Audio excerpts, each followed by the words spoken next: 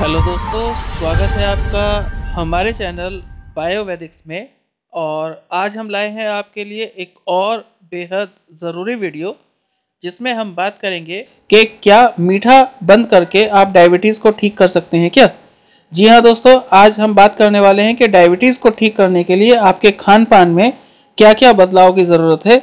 और आज का वीडियो अगर आपको पसंद आए तो प्लीज़ हमें लाइक, शेयर और सब्सक्राइब ज़रूर कीजिएगा।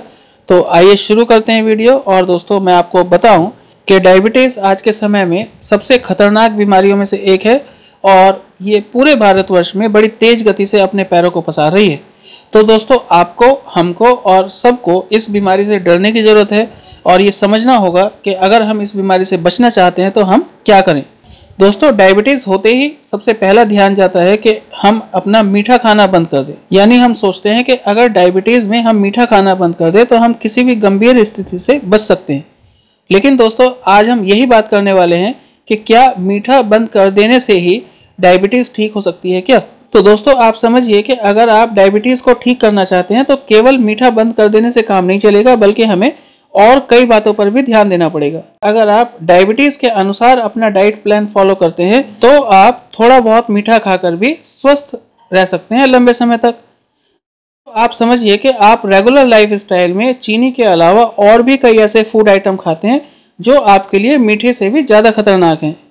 तो मैं आपको बताऊँ कि आप क्या क्या खाते हैं। जैसे कि दोस्तों, नाश्ते में ब्लड शुगर बढ़ाने वाली चीज़ें कौन कौन सी हैं?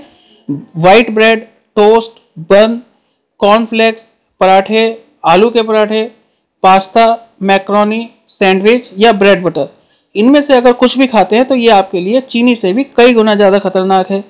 फिर लंच और डिनर की बात करें दोस्तों तो इसमें भी कई सारी शुगर बढ़ाने वाली चीज़ें हैं, जैसे कि आलू की सब्ज़ी हो गई, छोले, हरी मटर, चुकंदर, कद्दू, शकरकंद, रतालू ब्रॉड बीन्स या डिब्बा बंद पैकिंग वाली सब्ज़ियाँ, ये सब दोस्तों चीनी से कहीं ज़्यादा खतरनाक हैं।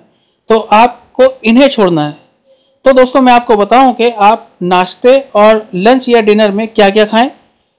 आप समझिए कि आपको हर वो फ़ूड आइटम खाना है जिसका ग्लाइसेमिक इंडेक्स कम हो और जिसमें शुगर की मात्रा भी कम हो।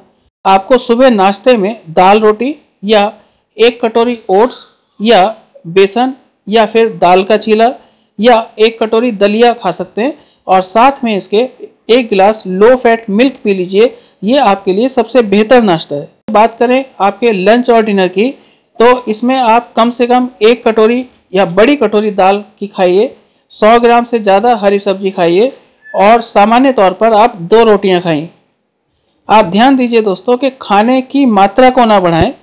इतना हो सकता है कि आप लंच में एक अंडा भी शामिल कर लें।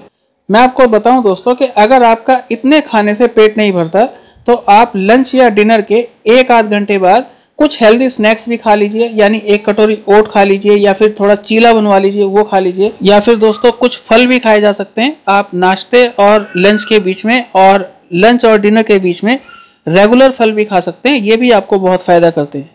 तो दोस्तों, आज के लिए इतना ही, और वीडियो देखने के लिए धन्यवाद। अगर आपको दी गई जानकारी पसंद आई हो तो प्लीज़ हमें लाइक और शेयर ज़रूर कीजिएगा। और अगर आप हमारे चैनल पर नए हैं तो प्लीज़ हमें सब्सक्राइब भी करें।